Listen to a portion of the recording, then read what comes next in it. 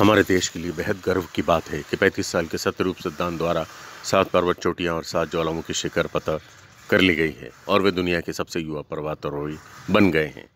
कुल मिलाकर भारत के लिए बेहद गर्व का पल है। उन्होंने भी खुद ने यह लिखा कि माउंट सिडली पर भारतीय ध्वज फहरा दिया है। ये बेहद गर्व वाला पल है। पिछले साल ही सत्यरूप ने नॉर्थ अमेरिका में स्थित दुनिया की सबसे ऊँची ज्वालामुखी चोटी भी फतह की थी। कोलकाता में रहने वाले सत्यरूप पेशे से सॉफ्टवेयर इंजीनियर हैं और वे अभी बेंगलुरु में रह रहे हैं।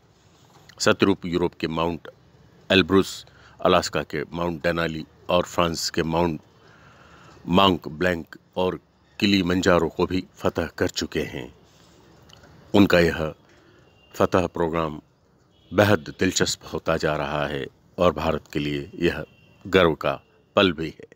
नमस्कार दोस्तों, अगर आपने अभी तक हमारे चैनल को सब्सक्राइब नहीं किया है तो अभी सब्सक्राइब करें और साइड में बेल आइकन को ज़रूर दबाएँ, जिससे घमासान से जुड़ी हर ताज़ा अपडेट्स आप तक सबसे पहले पहुँचें।